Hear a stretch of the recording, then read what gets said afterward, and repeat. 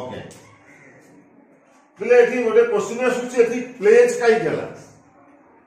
ES কাই বসলানি S কাই বসলা দেখ ভর শেষের যদি ওয়াই থিব